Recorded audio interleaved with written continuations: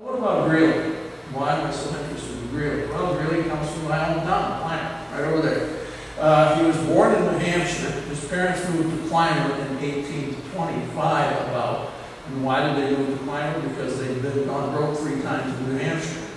So, New Hampshire and Vermont. So, Greeley's parents were pretty bad farmers. So they tried to make it in three different farms, lost money, and then they went west.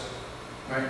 It doesn't have anything to do with Horace Greeley's go west, got but more or less that's what happened. So they moved from Rutland, Vermont to Clymer State Line Road over here uh, in 1825. Now, Horace Greeley himself was still beginning his career. He was working for a printer in East Poultney, Vermont, but the printer went bankrupt in 1825. So Horace wanted to go see his mother, so he walked from Rutland, Vermont to Clymer, New York in 18. And this is part of biographies written about Greeley. Greeley had a biography written in 1857. He didn't die until 1872. Now try that. It's somebody read a biography of you 15 years before you die. Then it'll become an important thing. So, uh, but Greeley's first job he got here, he needed a job, so he liked to write. And so he got a job in Jamestown for a paper, which I don't know if it was the Jamestown Journal, but it was some paper in Jamestown. He worked for a week, wrote stories, and unfortunately they didn't pay him. So he quit. And he went east then to another job. Eventually, his first job that became successful in this area was with the Erie Gazette. So the Erie Gazette, I think, still exists in the Erie, Pennsylvania. And that was Greeley's first job in 1828 or so. Now, where, where, did, where did Greeley's parents move to? Well, let's give you a flavor. They moved to the corner of State Line Road and Cabbage Hill Road. State Line Road, being Pennsylvania is on this side, New York is on this side. And if you want to, this is Erie County, Pennsylvania, and that's what it looks like today. Still a dirt road, still not occupied, and that's where the Greeleys went. That's where Zacchaeus and Mary Woodward, Woodward Greeley migrated to in 1825. Now, how do we know this? Well, the biographers talk about conversations that were had with people in in, in, in that period.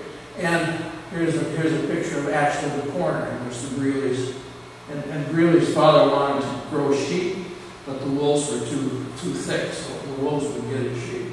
So he was there as a sheep farmer because the wolves in this area. And this is still really backward territory. You drive over there, you start up the hill from Clymer to Corry, and you go straight instead of going toward Corry, and that's where this road is.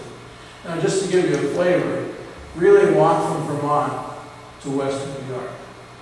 Now, why did he walk? Because the Erie Canal didn't start until 1831.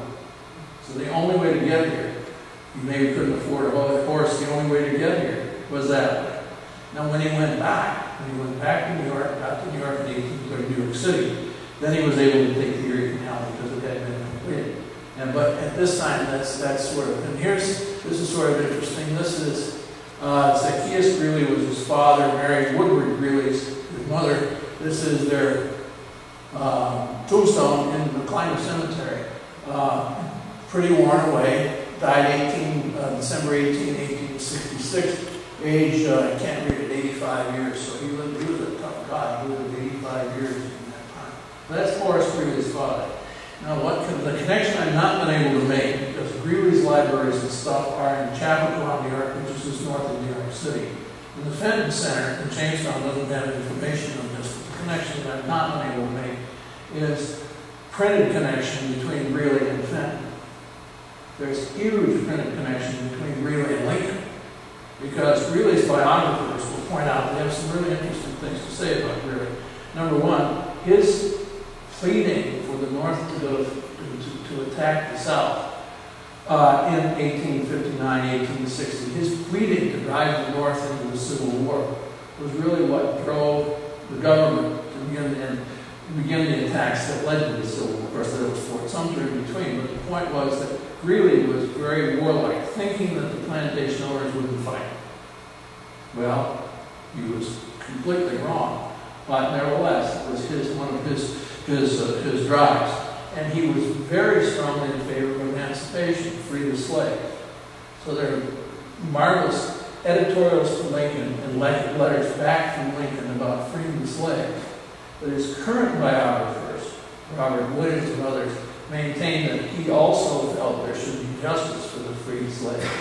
So when you connect freedom and justice, what Bob Williams, who's written the most recent biography, really that I've been able to find, says is that the connection of justice to freedom uh, was, was something that really pushed very hard for. And so he wasn't such a bad guy. I mean, he was very much involved in complaining about the, the Kansas-Nebraska Act and very much on, on, on Lincoln's case. And Jeter Isely, a professor at, uh, Princeton, who's written uh, really in the Republican Party, says this, these words, really more than any individual misjudged the Southern plantation owner. Really felt that a challenge they wouldn't fight. His readings were unforgiving. Well, after the war, now think about this. You know, local newspaper editor runs for president.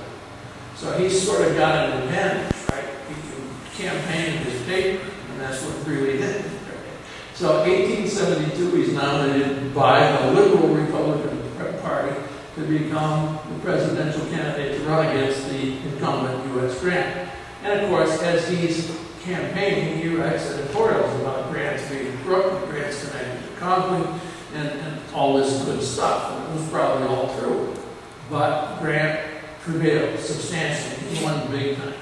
And if you then go ahead and read the Jamestown Journal about the what happened after the election, so the question becomes, after the election, what do you do with, with, with, this uh, with this uh, situation between the election and the, and, and the uh, electoral college uh, uh, election? And turned out he really had the good sense to die. So he died, it was in December of 1872, so now all of his electoral votes, what do you do with them? Well, eventually they mostly went to Grant, but he's the only presidential candidate in history to have died before the electoral college. We heard about Gore versus Bush yesterday. Well, I don't know what the Supreme Court would have done with this if the guy did, but anyway. So, now Henry Schacht. Hunter Schacht, give him the picture. Here's Hunter Schacht. He was uh, Hitler's banker. He was a very effective banker. He stopped German reparation payments. He was an early Nazi supporter. Uh, he was an extremely good businessman. Schacht was Hjalmar Horace Greeley von Schacht. Right? Why was he Horace Greeley von Schacht? Because his father, William, moved to the United States in 1870 or so. His mother, Eggers, a, a Danish noblewoman, followed her husband to be in New York, and they were married in New York uh, in January of 1872, the year of the election. Now, he, William, shocked. By the way, shocked is the German pronunciation, Scott is the Dutch pronunciation. And so I tend, because I'm Dutch, to use shocked. It's not right, it should be shocked.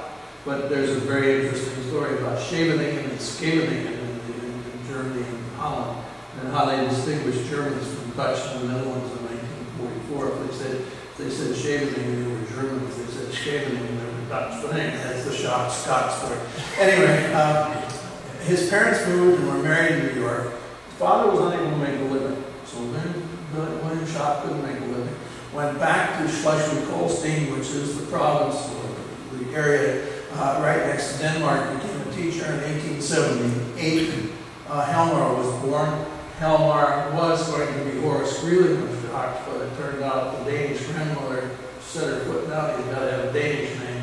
So Hjalmar became instead Horace Greeley. So stuff you didn't really know, but now know that.